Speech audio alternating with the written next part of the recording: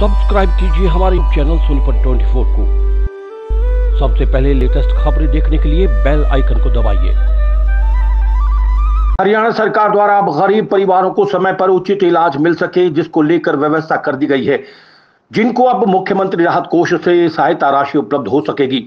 जो जरूरतमंद और पीड़ित व्यक्ति आयुष्मान भारत योजना के तहत कवर नहीं होता, उन व्यक्तियों को मुख्यमंत्री राहत कोष से आर्थिक सहायता राशि प्राथमिकता के आधार पर उपलब्ध करवाई जाएगी, ताकि ऐसे व्यक्ति को भी स्वास्थ्य सेवाओं का समय पर लाभ मिल सके।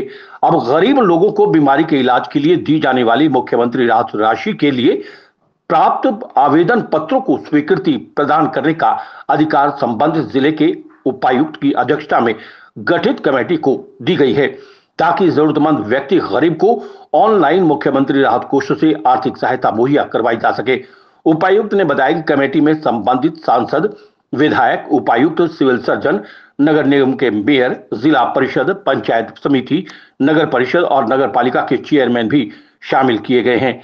इस कमेटी का नोडल अधिकारी नगराधीश को नियुक्त किया गया है। सोनीपत 24 के लिए श्याम वशिष्ठ के साथ रमेश कुमार की रिपोर्ट। अभी जो हेल्थ से संबंधित एक स्कीम है financial assistance for medical treatment to poor patients वो लागू की गई है। इसकी ऑनलाइन सर्विसेज़ शुरू कर दी गई है अप्रैल माह से ही।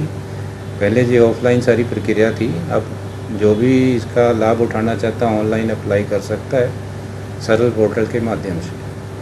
अच्छा किस तरह की बीमारियों में राहत मिलने वाली है? कितनी तरह की बीमारियाँ हैं? इसमें लगभग 25 बीमारियों की लिस्ट है जिनका इलाज इस स्कीम के तहत पॉसिबल हो पाएगा।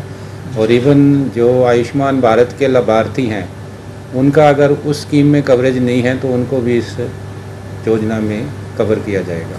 सर सोनीपत डिस्ट्रिक्ट में अब तक कितने लोग सामने आए अभी तक ऑनलाइन प्रक्रिया होने के बाद हम कल ही मीटिंग थी उसमें तीन एप्लीकेंट को लाभ दे चुके हैं।